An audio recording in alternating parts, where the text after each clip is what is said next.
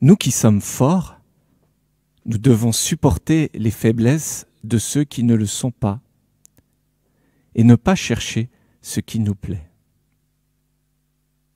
Que chacun de nous plaise au prochain pour ce qui est bon en vue de l'édification.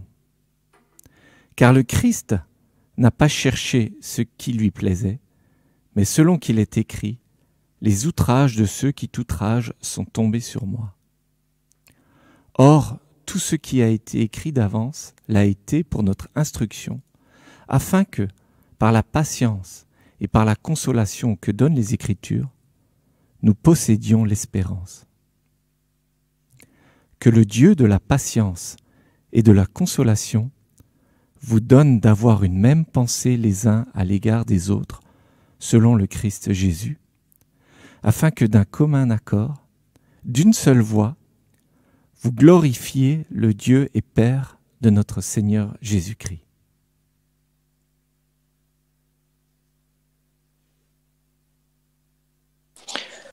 Merci Denis pour euh, du coup cette lecture. Déjà, je vous remercie euh, Sébastien et puis un petit peu toute l'équipe pastorale et puis toute l'équipe euh, de la technique derrière les, les chants, etc. Et je trouve que c'est vraiment super de pouvoir bénéficier de, de ce moment extraordinaire les uns chez les autres et en fait se retrouver. Je trouve ça à de kilomètres. En tout cas, merci. Je suis Julien, je suis Julien Tessonnière, je suis aumônier des armées. Je suis marié là et, je suis marié avec Julie. Voilà, je leur passe un, bonjour. Et euh, voilà, merci beaucoup. Donc, en fait, ce, ce, ce, texte est très intéressant. Paul écrit cette lettre donc à l'Église de Rome au VIe siècle à peu près. Il va exposer clairement aux, Romains ce qu'est l'Évangile de Jésus-Christ, ce qu'est la foi chrétienne. Et il va le faire en plusieurs temps, en trois temps. Euh, le premier temps, c'est important, c'est l'annonce du salut par la foi. Euh, nous sommes déclarés justes par la foi en Christ. Euh, le deuxième temps, c'est ce salut par la foi et pour tout le monde, juif et non juif. C'est Dieu qui le veut parce que c'est dans son plan. Et en fait, le, troisième, troisième temps, c'est là où sera notre texte. C'est ce salut par la foi pour tout le monde implique chez le chrétien un changement et de nouveaux comportements. Et il va détailler encore plus avec le chapitre 12 parce que il va dire que ce comportement, ce changement de comportement, en fait, il faut l'avoir envers soi-même, offrir à Dieu tout notre être comme un sacrifice vivant, être humble, utiliser les dons que Dieu m'a donnés pour l'Église, je dois prendre soin de ma relation avec Dieu. Après, au chapitre 13, le changement de comportement envers les autorités soumission aux autorités, faire le bien afin de ne pas craindre le magistrat et être un bon citoyen. Je dois prendre soin de mon témoignage à l'extérieur. Et enfin, là où on va zoomer sur notre texte, il fait partie du changement de comportement envers les autres, envers notre prochain, avec ceux qui nous entourent. Je dois prendre soin des autres. Et ce texte d'aujourd'hui peut s'interpréter en fait comme euh, la continuité de l'exhortation de Paul qu'on va trouver déjà au, au chapitre 13, verset 10. L'amour ne fait pas de mal au prochain, l'amour est donc l'accomplissement de la loi.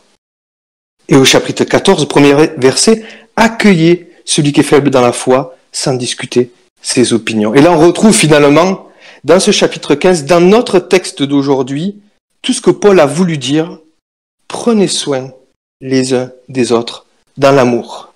Et il va mettre un point d'honneur, quelque chose de particulier.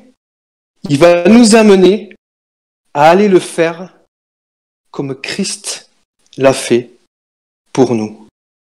C'est-à-dire Christ mort pour nous. Il est allé jusqu'au bout. Il nous a aimés jusqu'au bout.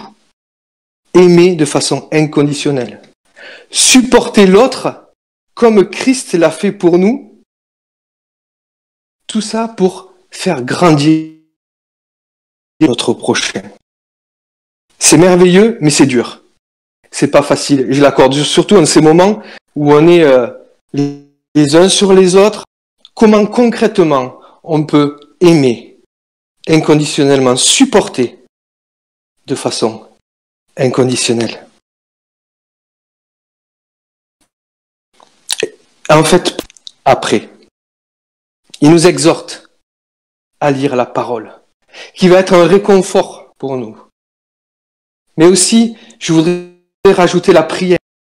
Prions les uns pour les autres et c'est ça, en fait, ce que je voudrais vous inviter aujourd'hui. C'est un sacré exercice qu'on a à faire. Nous devons prier les uns pour les autres pour nous aider à nous supporter, pour nous aider à nous aimer, pour aimer ceux qui sont au dehors, pour aimer ceux qui sont seuls aujourd'hui, ceux qui sont dans notre famille d'église, dans l'église, seuls. C'est un sacré exercice que Dieu nous demande aujourd'hui. Mais nous devons en être témoins, témoins de l'évangile. Alors, aujourd'hui, chers internautes et puis chers euh, amis de l'église de, de Brumat, je vous invite à prendre ce temps de prière quotidien, ce temps de méditation quotidienne. Seb en a parlé déjà de cette méditation importante. Je sais que c'est pas facile, mais si on s'astreint, je crois qu'on verra des fruits dans notre famille, dans l'Église et dans notre témoignage autour de nous. Aimer supporter dans la persévérance, aimer supporter dans le réconfort de la parole.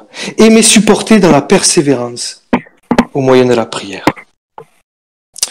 Voilà, je voudrais juste conclure avec, en lisant le verset 5, que le Dieu de la persévérance et du réconfort vous donne de vivre en plein accord les uns avec les autres, comme le veut Jésus-Christ, afin que tous ensemble, d'une seule voix, vous rendiez gloire au Dieu et Père notre Seigneur Jésus-Christ.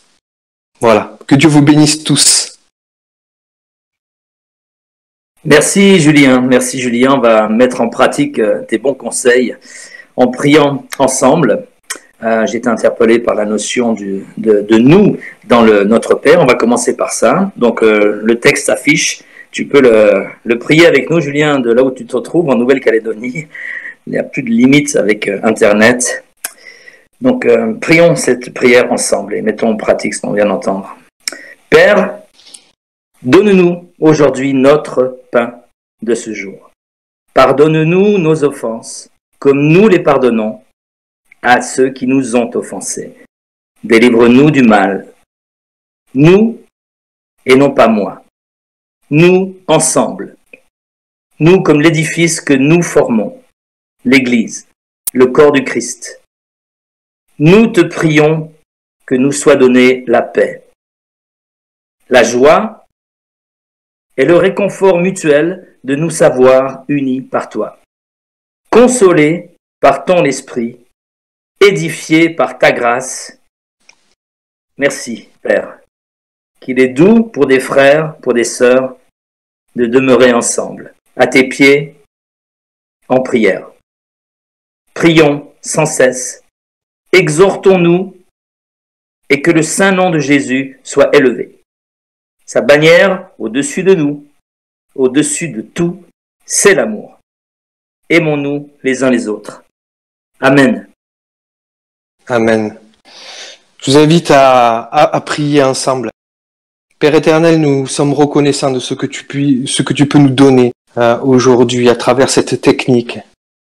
Je te demande, Père éternel, de nous aider à, pratiquer cet exercice de la prière, de la méditation, à prier les uns pour les autres, à ne pas oublier notre prochain, notre famille, notre, nos amis d'église. Père, aide-nous, transforme-nous, équipe-nous, que nous soyons persévérants pour ton royaume, dans le nom puissant de Jésus-Christ. Amen.